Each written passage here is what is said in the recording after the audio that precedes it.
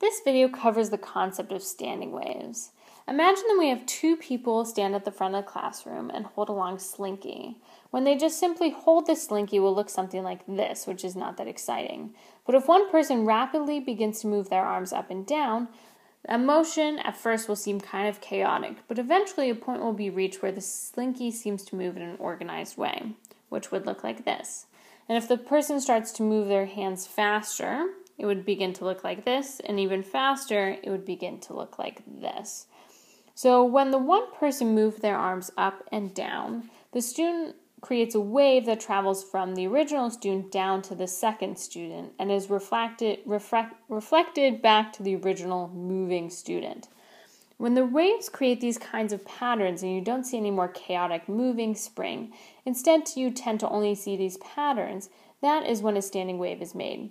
A standing wave is whenever you see these kinds of patterns or images. So a slinky's amplitude when it's at a maximum, we call this position antinode. And a Slinky's position when it's at a minimum or when the slinky doesn't actually move at all. This is called a node. Whenever there are three sets of antinodes, the standing wave is said to be the third harmonic.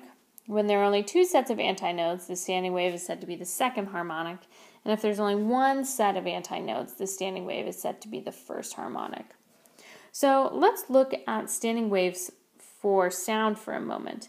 We know that sound waves are simply just alternating areas of high and low pressure and look something like this. Nodes for sound waves are the regions where the pressure stays constant and does not vary, kind of just how before the nodes for the string or the slinky wave was when the slinky did not move at all.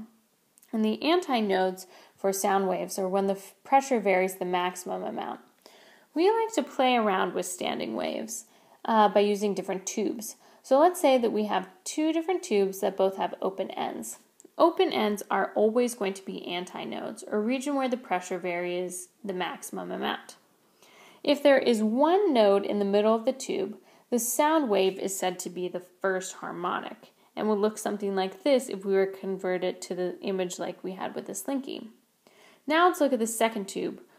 All right, since we have two open ends, we know that they're going to be antinodes. And if we add an extra node in the middle, so we have two nodes, this is going to be called the second harmonic. And our wave is going to look something like this. All right? And we can also do the same kind of experiment, but then we can close one end by submerging the tube in water. All right? And whenever we have a closed end, we know that that area is going to be a node. So we know that we still are going to have antinodes at the open end, and this is going to be the first harmonic, where a wavelength looks something like this.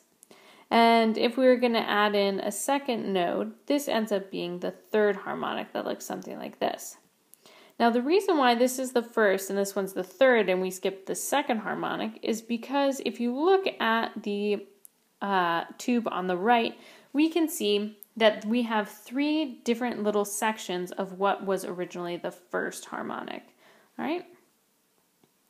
And notice that there are only an odd number of harmonics for the open closed system, as I discussed previously.